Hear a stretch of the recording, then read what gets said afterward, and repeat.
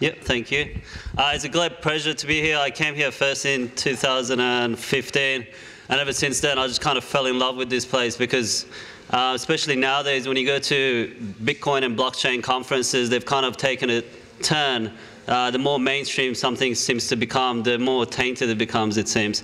Um, so I really love that this organization has always held the true values of cryptocurrency and what it represents, um, and the open source space, as well as uh, what all of this really means.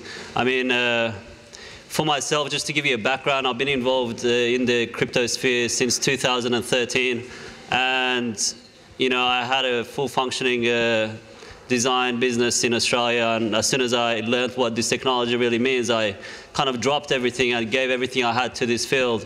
And since then, I've worked as a journalist. I've worked with various projects such as Storj, BitNation, and a few other uh, organizations throughout the way. I learned a lot. I met a lot of people.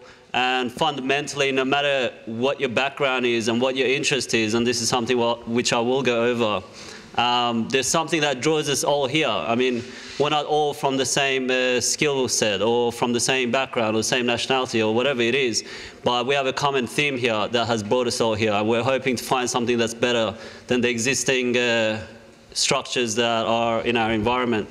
So yeah, my name is Amin Rafiee. Welcome to my talk. I hope to inspire you through some of the lessons I've learned along the way, some of the projects I've worked with along the way, as well as some of the common themes that I see among all the people who are interested in this space. Um, so to just start off with,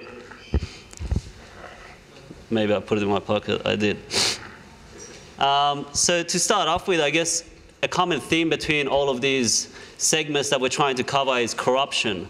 And whether it's through government, education, science, uh, place of work, hierarchy at work, and any other centralized models, we can see a high level of corruption. And this is usually linked to the need to have control over circumstances. And where does it come from? So, this is a great quote, which I'm sure a lot of you are uh, familiar with. But it seems when you place someone in a position to have power, um, over time, moral values decay. Uh, the more power this individual is given. And this is very important when we look at whether it's a role in the government, a role as an, a, you know, a leader in a group or whatever it may be. We elect as presidential selection or prime ministers or people of power these individuals and we believe that this one individual can change the scene for an entire country filled with millions of people. And for me, this is kind of unnatural to think that way. But yet we have grown to believe that this is it, that this person maybe after hundreds of years, that yet finally this model is going to come into place and work finally. And this is not true. Um, we have a lot of issues in our current society, whether it's government, education, science, medicine, our diet, all of these have been tainted by centralized powers to send a message that aligns with profit and with having control, monopolizing the market in those certain industries. And here lies the issue of uh, modern society because to overrun or overcome these boundaries, limitations, we really need a different approach. Um, so what have we seen? What samples can we take from these sort of uh, industries? So one of them, for example, is the ongoing uh, issue in Venezuela. And this happened in Zimbabwe as well. And I think it's quite interesting when you model these uh, issues in countries such as Venezuela and Zimbabwe. Some may look at them and say, well, they can finally catch up to our society. They're going through something.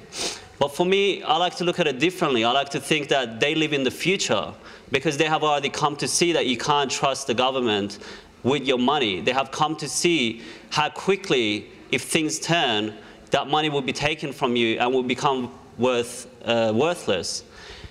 We, on the other hand, in more depicted as modern societies, tend to think, or at least live in an illusion where we believe everything will work out. I mean, 2008 really showed how powerless we are.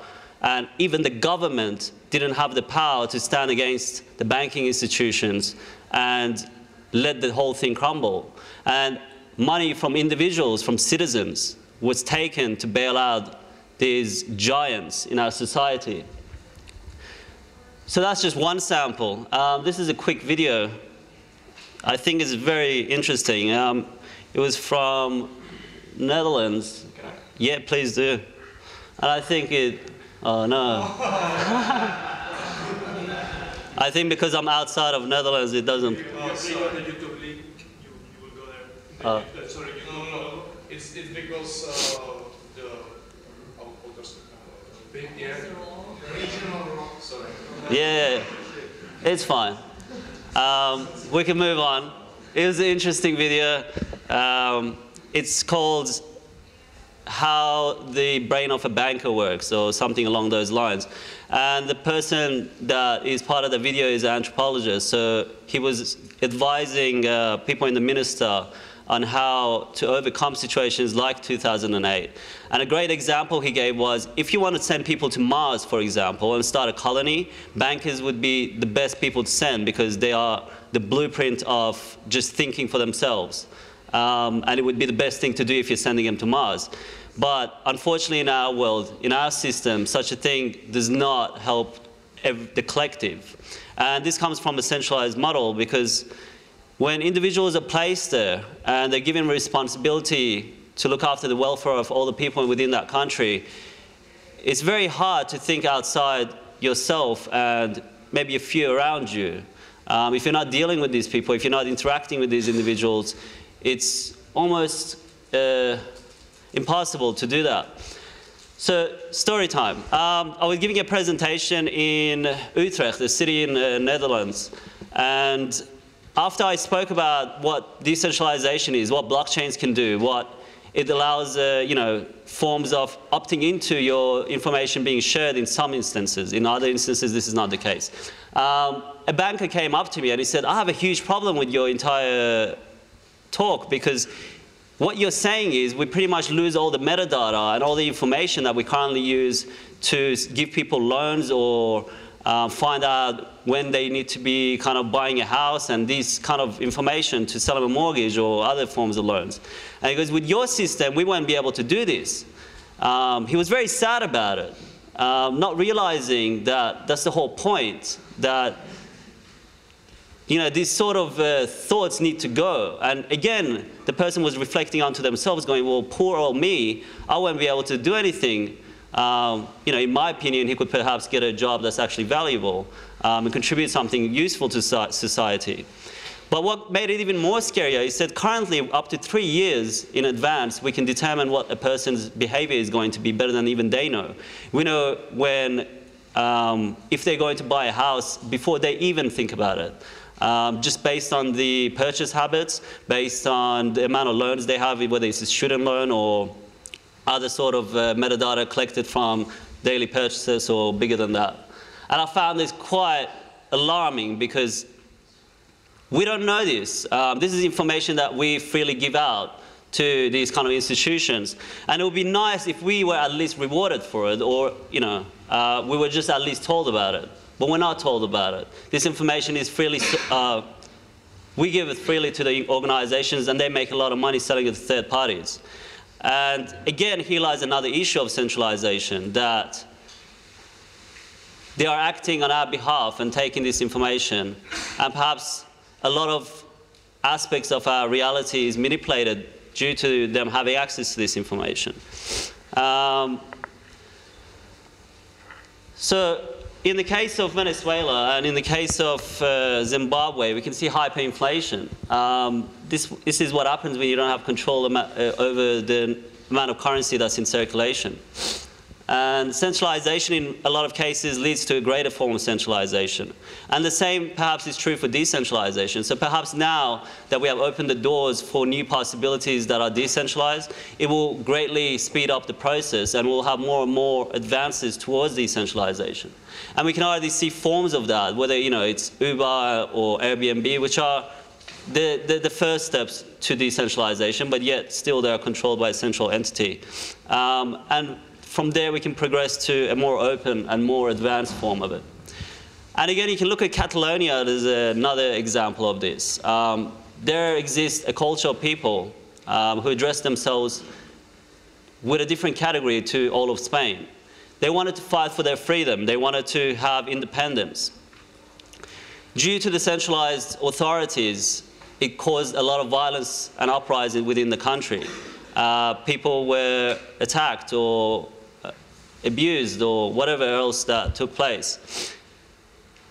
For me, this doesn't make any sense because you have a group of people who have decided for themselves that they want to do things differently. They want to live in accordance to their own principles or their own culture. And they are being held back by a centralized authority. So these are some examples of how centralization causes issues. Other things for me are, for example, the Bitcoin debit cards. These were a fantastic way, for example, for refugees to gain access to financial aid or systems because unless an a state within Europe recognizes you, you can't go and open up a bank account. So Bitcoin debit cards was a great way for individuals to get access to money through whether it was donations or through family or friends converting cash overseas and sending it to them. It was a really fantastic way, and the limit at that time was, I think, 1,000 euros. So the European Union thought this was a bad idea, and they decided to reduce it to 250 euros. And they also made it so a lot of debit card providers could not provide this card for anyone outside of Europe. And this went under the title of uh, anti-terrorism policies.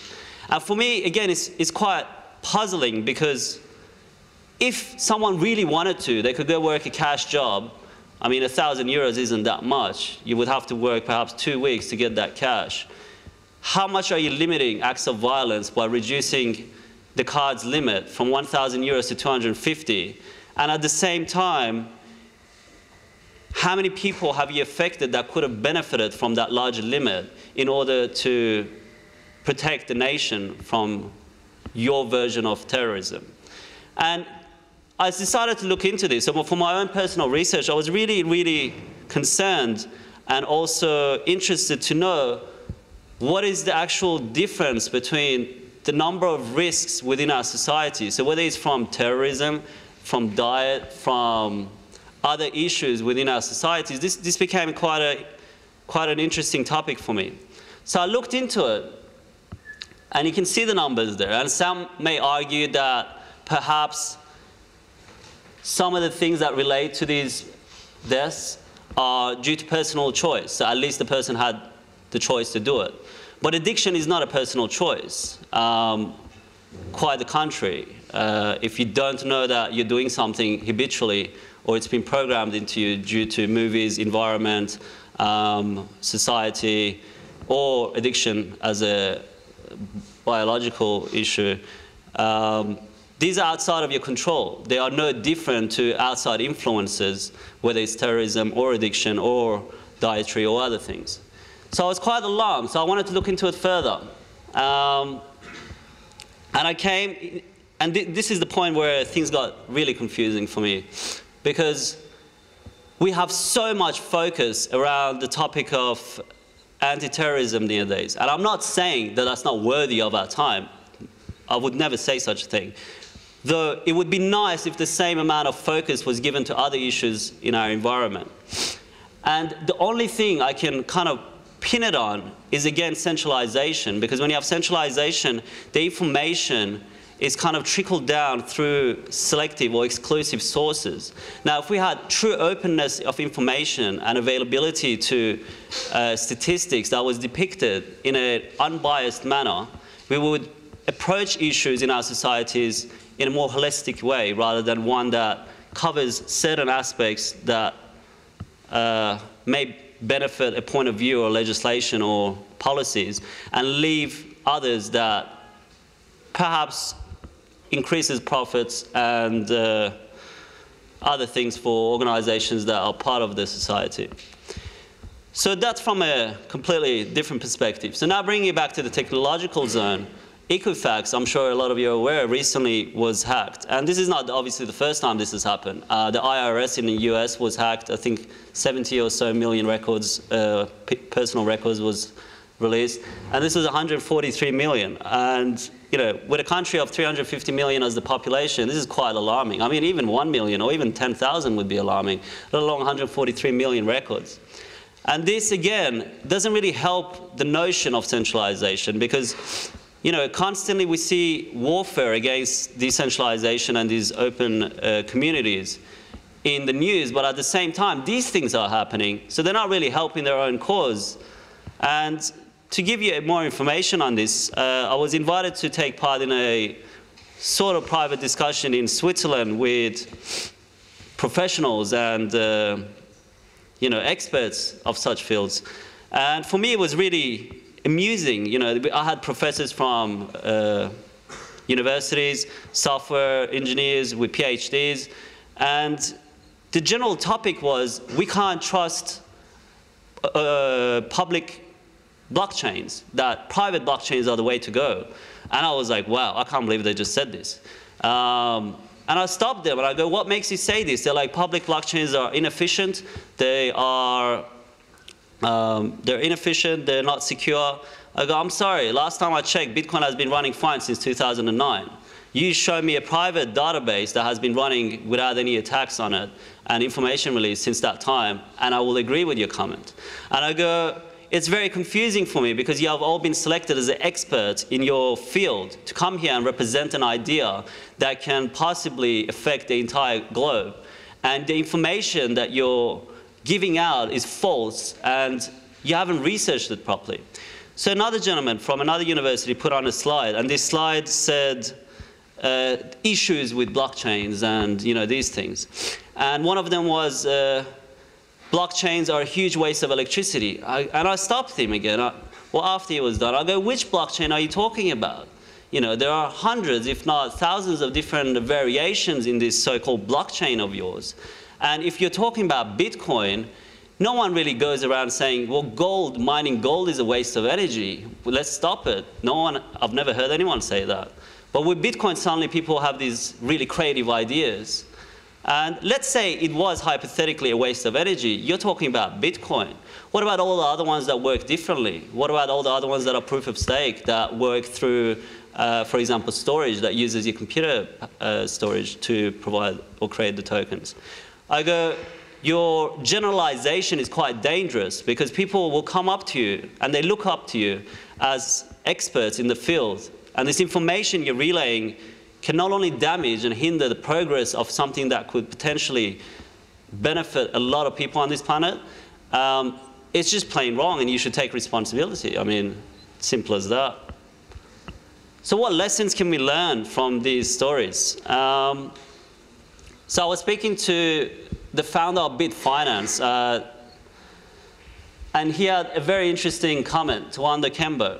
And he said, I said, look, you know, you're from Zimbabwe. You have a Bitcoin exchange there. You've seen the scene.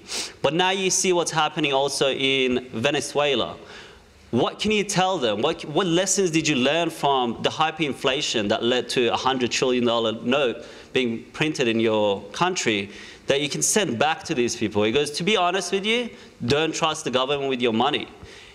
Everything is sweet and everything is perfect until things turn. And then you realize who's really in power. And this is where things get a bit shaky because we like to think we live in a society where things are a bit better, that if things turn, we're protected, we're kind of backed by the government. And this isn't an attack on the government. They can do whatever they want, but we have personal choice in the matter. So I have a choice, for example, whether I use a fiat currency or I use a cryptocurrency. I have a choice whether to go to an educational institution run and endorsed by the government or a institution that's open and the information flows better and may align with my personal beliefs a bit better. So bringing it back to this, um, I think it's very important to note what can we learn, for example, from all the digital currencies? So people come out and say, well, Bitcoin should be the only one. Some others say Ethereum should be the only one. And this is a very romantic relationship people have with these digital currencies. But we kind of need to transcend and go back to it being a technology. And when you look at it like that, there have been people who have come into the digital currency uh, frame who came from a music background and they found a coin that reflected their beliefs through that music coin, for example. There are people who come from a storage or data center background who found Storj, for example, something that resembles their beliefs. I believe each cryptocurrency is subjective on how you believe it should be. Um, Andreas Antonopoulos said this really well. He said there is no real Bitcoin. Bitcoin is subjective. If you believe Bitcoin Cash is your real Bitcoin, then you go after that network and you put your miners towards that network. If you believe another version of a cryptocurrency is your version of it, then you can go after that one. It is purely subjective. And I like the way he put it. He said if you have a basketball game, um, one people are playing by the rules, everything strict, and other people are playing a bit shoving, they're a bit more rough. There is no real basketball game. It's just you decide which one you like to play and participate in, and that will be your version of the basketball game. Um, so that I find very interesting, and I think people should zoom out a bit. And, you know, the romantic aspect of our relationship with cryptocurrencies is quite nice, but at the same time, we should open our minds to the possibilities of seeing them as a collective, that no matter which background you came from, perhaps there's a coin that's right for you. What can we learn from the internet? So internet started off as something that was, you know, very liberal, and right now it's turned into this thing um, in our pockets that allows us to access, uh, we kind of went over that, access Facebook and Twitter and all these other things. But it can also be very powerful. It can educate the individual. So my personal perspective on it is cryptocurrencies, blockchain, Bitcoin itself, and many other cryptocurrencies, you know, it started off as this open free, liberating technology. And throughout the way, I'm seeing the more mainstream it becomes, it's starting to kind of lose that message. Um, the more the people that used to kind of laugh at it, the bankers, the, the corporations, they used to laugh at cryptos and say, oh, look at you guys, this is just a joke, suddenly took an interest. And now they are pushing it out as though it's their technology. Um, it's their conferences. So pay us 300 bucks to come into our corporate event and we'll send invites out to executives. And for me, this is very alarming because I love going on the stage in these conferences and just letting them know, you stand here right now claiming that this technology is very good, yet three years ago you guys were laughing at it. You must never forget that this technology was open source, that there is no owner, that we are all a part of it, that we must not allow the message to be lost throughout the way. And it is always lost through, uh, through convenience. So you know, ING or other forms of global banks could come out and say, here's your Bitcoin wallet, please use our bank to do it. And that is very convenient for the average person. But we must never forget the idea is to hold your own private key. The idea is to be your own bank, not allow, I mean, Bitcoin didn't come out to say, you know, let's start virtual banks. No, you are the bank. You keep it in your pocket, in a file, wherever you want to keep it. And I think it's very important to not lose track of that message. So an organization, kind of like stepping it away from those messages, um, this kind of becomes a bit more personal at this stage. So this is an organization um, I and two other people founded about a month ago, so it's quite relatively new. And the idea was there's an uprise of digital societies coming out. So for me, decentralized autonomous organizations are very natural and organic when compared to, uh, you know, these synthetic models that we use in our societies with hierarchy, top-down, which are very inefficient. They do not communicate the message well. So, my apologies. So Agathia, for me, is a stepping stone to kind of allow the technologies that exist. So there's so many blockchain applications um, if they were kind of put into this right package, so Bitcoin, for example, uses a few plugins and puts it together to form what it is Bitcoin, um, obviously with the formal code there as well.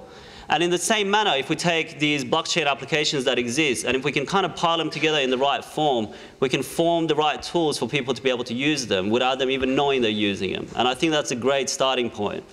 And I would love to see more of these, giving people the tools to start their own societies. So it is, for me, a transcendence above nations because in many ways, people hold their nations dear to them, their culture dear to them. And it shouldn't be about conversion of these things. It should be more about you know, creating your own societies and creating your own entities, organizations, and allowing the freedom of participation. And I really like this chart as well because, you know, as a solution, we can see the sharing economy rapidly growing. And this is a great example of decentralization because it really shows when it's available, people obviously will opt into a service that allows them to connect with other individuals while saving a lot of cost. And it makes a lot more sense to share your room with someone or take someone's room for a short period of time rather than stay at a hotel. Um, it takes it back to the traditional sense of peer-to-peer -peer manner or uh, person dealing with another individual. So Storj for me is a great example of this as well because in the same manner that Airbnb allows you to rent out your room, and I love that today I saw a white paper, I forget the name of it, but there's an organization that's aiming to uh, start a decentralized uh, version of Airbnb, and I think this is a great step forward with zero commission. Because right now, if you book Airbnb, there's a lot of commission on there, and this hinders uh, progress towards decentralization when you have these things. So a great example of it would be eBay and Amazon versus OpenBazaar. OpenBazaar has no fees, and that's beautiful to see, compared to Amazon and eBay, which charge between 12 to 15% to just be the middleman.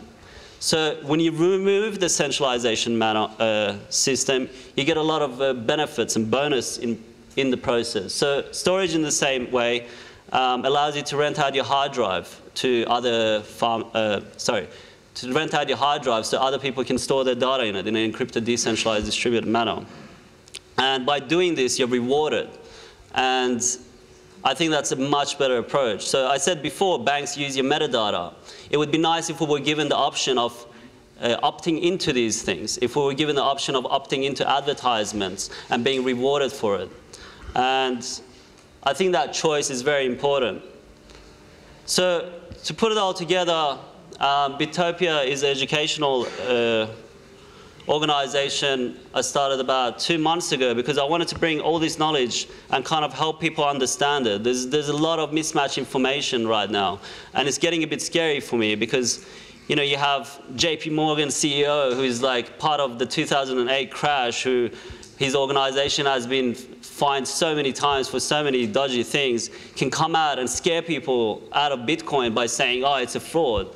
I mean, it's bizarre for me, and people actually believe these individuals. I mean, you can go look at a video from him from 2015 or 16, where he's saying no nation will ever accept Bitcoin. It will be in the form of US dollar, and the United States will ban it and make it illegal. And you can see the fear coming through him, and you have to have some sort of a, you know, feel sorry for them in some ways because they can see they're crumbling, the, the floor is crumbling beneath them. But Japan now accepts it. In Switzerland, you can pay taxes in Bitcoin. And it really goes to show that these centralized masters that people kind of look up to can be wrong too, and we mustn't look at them as the, you know, the, the senders of the true message or anything like that. Quite the contrary. So to wrap it all up, uh, we can see kind of corruption within society, the effects of centralization, and giving one or two individuals the power to dominate an entire nation or entire organization, whether it's money, finance, education. Um, these all have some issues in some way. And by decentralizing an organization and allowing participation to be voluntary and transparent, you can have free flow of information. So whether it's a decentralized society where the entire society acts as a collective and information relays back and forward. Um, or it's an organization such as a company or corporation um, working in a decentralized manner, you can have much more rapid growth. And this was also seen in few nations throughout wars where they didn't put too much focus on patenting ideas and trying to control everything rather than the progress of the entire nation's uh, technological movement. And we can already see this a lot in different spaces. I hope you enjoy my talk. Um, I know it was a very kind of all over the place, but uh, I just really want to put it out there. And we have a responsibility, as I said, to make sure the message of blockchain uh, the underlying technology behind Bitcoin remains open and it remains free for people to access. And one of the things that really bothers me right now is that, you know, the fee is so high that merchants can't even accept it. I mean, downstairs you saw that, you know, you got to almost use Litecoin because the fees are high. And I got into this space because I believe Bitcoin was a form of payment for the unbanked and underserved. And right now it is far from that, and it stopped being that. And I hope it can return to that um, because, you know, that's where the real power comes from, allowing people to participate within the network and feeling a part of it, not just providing it as an exclusive uh, package to some individuals who believe, ah, oh, if you want to send some money around, you've got to be willing to pay for it. Um, yeah, thank you for listening. I, I want to hear some of your questions. Uh, I'm not just here to present. I really want to hear some feedback, what your thoughts are, if you have any doubts of the space, of the movement. Um, it would be great to engage some sort of a conversation. But thank you for listening.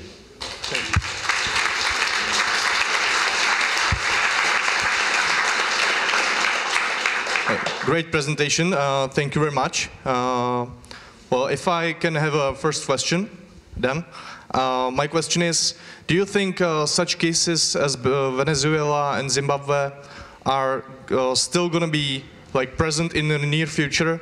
and if it's gonna, if if yes, uh, is it going to cause more adoption, uh, like bigger adoption of decentralized tools?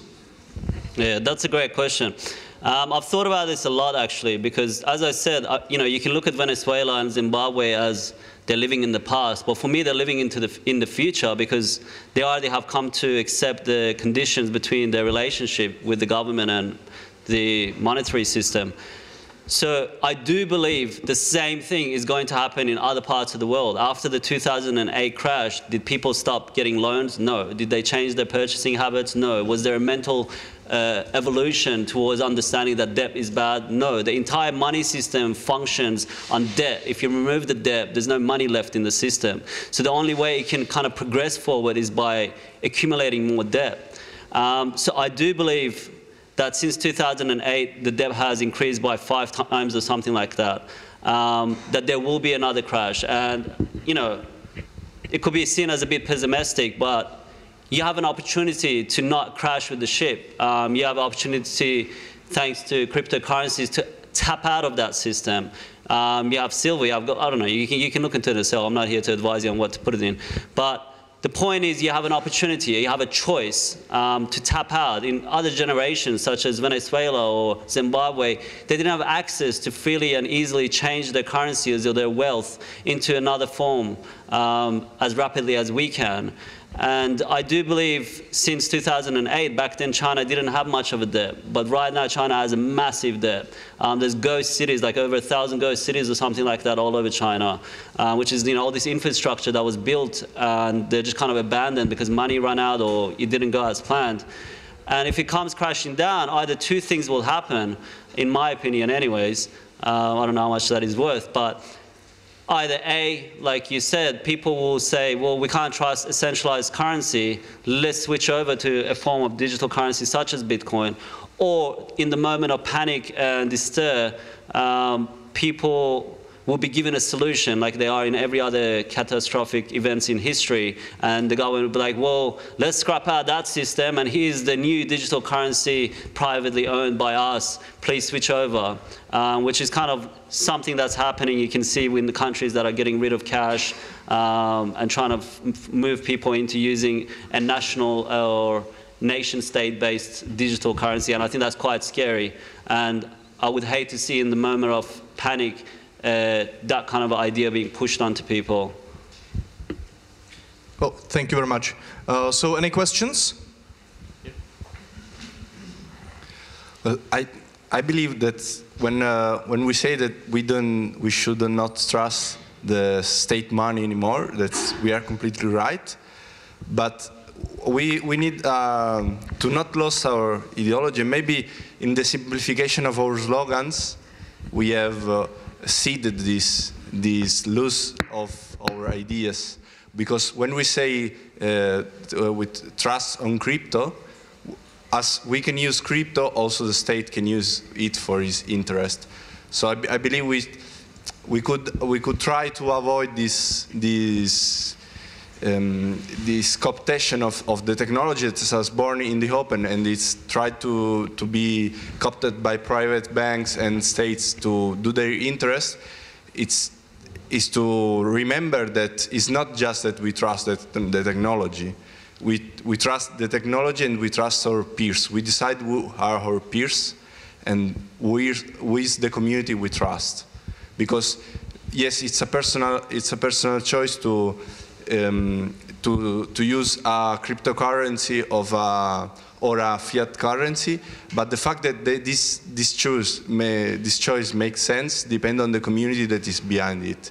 If, if there is just one, one person that uses a cryptocurrency, it's, it's meaningless.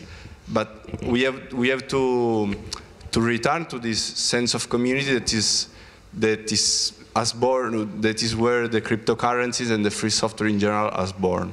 Yeah, I agree. I agree. Um, and that's why it's very important to let people know of these uh, choices because a lot of people don't. And for me, it's very similar, I guess, if you compare Signal or Telegram to Facebook Messenger and you know other centralized, very centralized, closed source ones.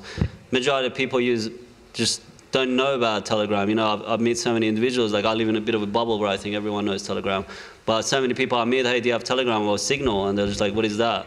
Um, and again, you know, it's the echoing messages through media and like the environment that kind of relays Facebook Messenger, but never talks about Signal or Telegram. And yeah, it's kind of hard to battle with that loud noise in society, you know, but all you can do is kind of let a few individuals around you know and hope they will tell a few other individuals. But I don't know how to attack it from a larger perspective. Um, hello. Uh, you have talked about the, the centralized autonomous uh, societies.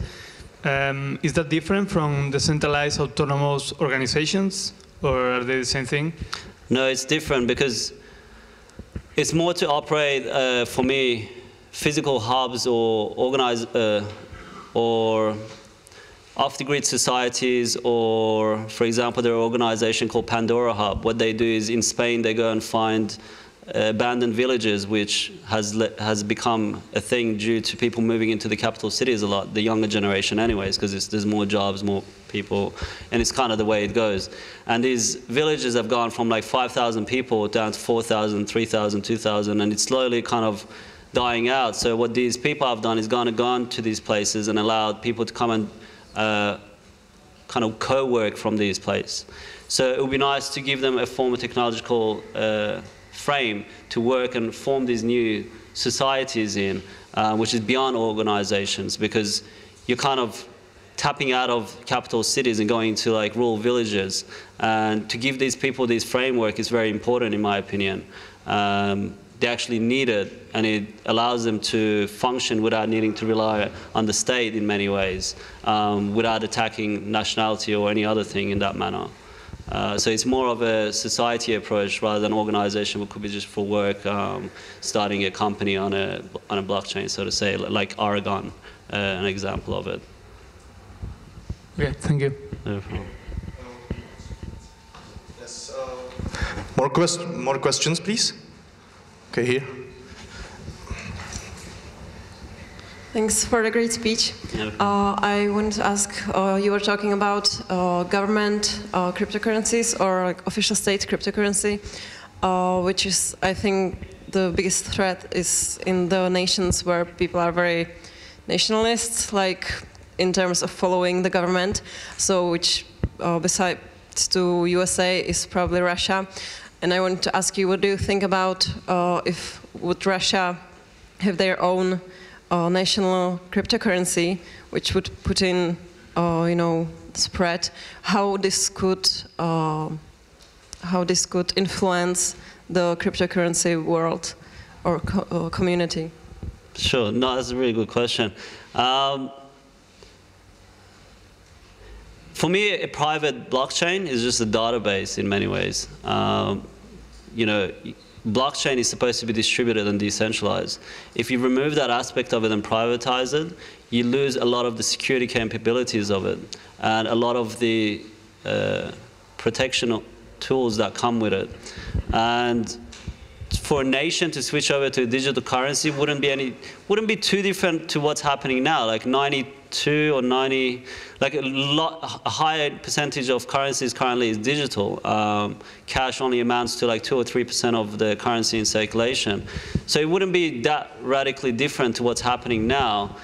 Uh, it would probably be used as a hype to be like, oh, look, it's blockchain, everyone's talking about it, this is our version of it, don't trust these kids in their basement, so to say.